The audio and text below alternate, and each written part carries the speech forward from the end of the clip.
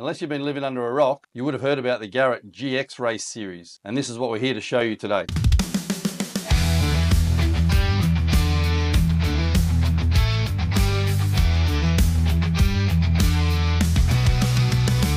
Now Garrett made it very clear who these turbochargers are for. It's right there in the name, Garrett X Race Series. So these turbochargers are all about performance. And this means increased compressor flow, enhanced pressure ratio, higher boost pressures, lower intake temperatures, and increased durability, which is important when you're pushing your turbocharger to the limit.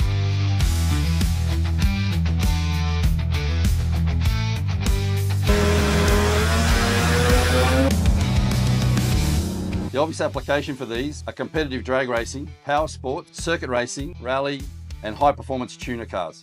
Keeping in mind these days, 1000 horsepower Skylines, Supras, and Barra Power Falcons are not that uncommon. I'm sure these turbos will be popular with the modified Aussie car community. Okay, let's take a closer look at this range. There are four supercores in this range. The GXR 4268, 4272, the GXR 4567, and 4573. So why only supercores? Because they're made to match the existing G42 and G45, T4 and V-band turbine housings. So what does that mean?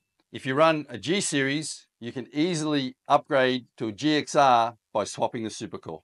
For example, the GXR 4573 will be a great upgrade for the inline six engine platforms, 1JZ, 2JZ, Barra, RB26, RB30, and will also be a great upgrade for the rotary 13B and 20B applications. So while there's not much visual difference between the old G series and the new GXR, all the good bits are right here in the compressor.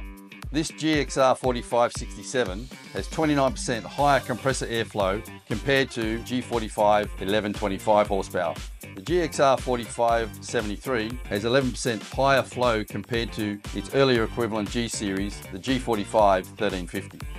Featuring Garrett's new X-Boost technology with increased power and performance, high flow compressors, enhanced pressure ratio capability and high boost pressure, increased efficiency at high flow rates, and lower intake temperatures. That's quite an impressive list. Because these are mainly aimed at the high performance and racing market, we've matched these to the Garrett T4 divided entry and V-band inlet turbine housings as commonly used by most performance engine builders.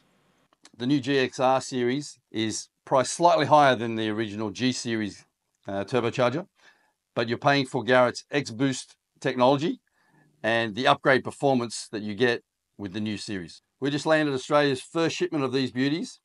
So if you want any more information or a quote, hit us up on our socials or contact us through our usual channels. Until next time, I'm Brett from GCG. Keep on spooling.